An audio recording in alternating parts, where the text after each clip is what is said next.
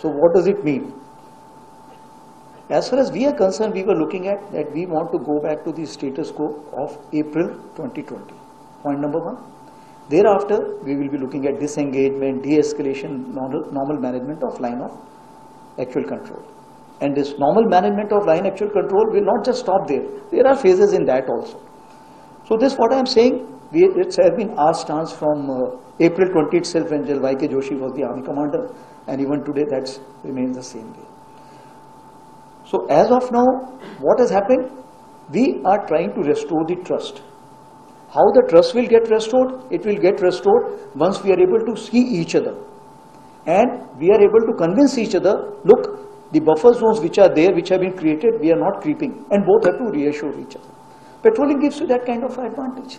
So that's what is something which is commencing.